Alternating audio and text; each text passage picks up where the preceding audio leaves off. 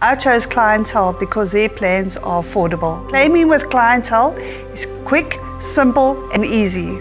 I got the doctor to fill in the forms.